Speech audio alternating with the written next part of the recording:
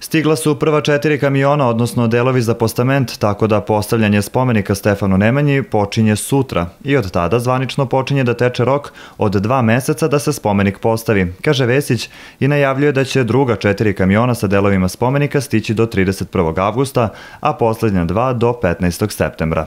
10. avgusta ovde se nalazi a, grupa ruskih majstora a, koji su koji rade na postavljanju spomenika, koji će raditi svo ovo vreme a, i a o početku septembra očekujemo i Aleksandara Rukavišnikova koji će lično nadgledati postavljanje spomenika.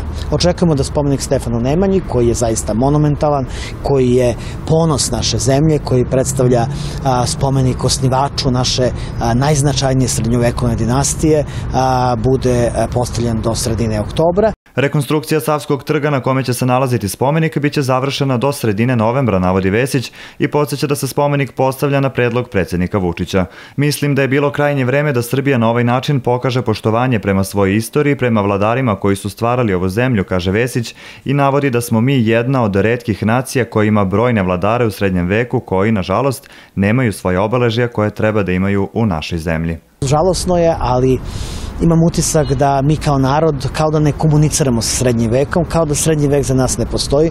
Mi nemamo ni jednog vladara na, jednog srednjevekovnog vladara na, na novčanicama, a, ponašamo, ponašali smo se do skoro kao da srpska istorija počinje, počinje 1804. godine i tada zaista počinje moderna srpska istorija, ali mi smo bili slavna država u srednjem veku, značajna evropska država i zaista je bio poslednji trenutak da pokažemo poštovanje prema našem srednjem veku.